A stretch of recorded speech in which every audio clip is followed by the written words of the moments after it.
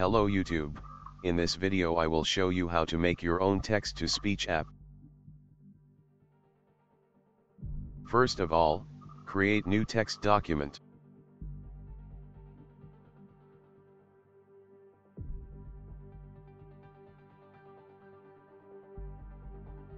Then, open it with Notepad.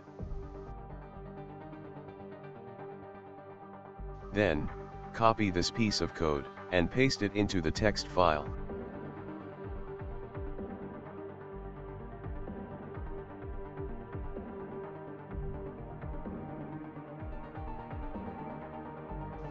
Next, go to File, Save As, and the most important thing, Save as Type, all files.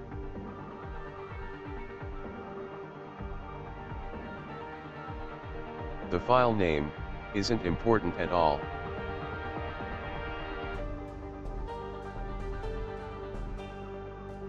Important is the extension, so, type .vbs, at the end of the file name. Then, click Save.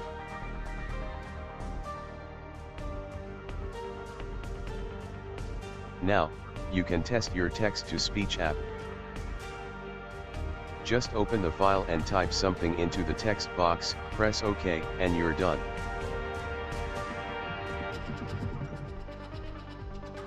Hello, my friend.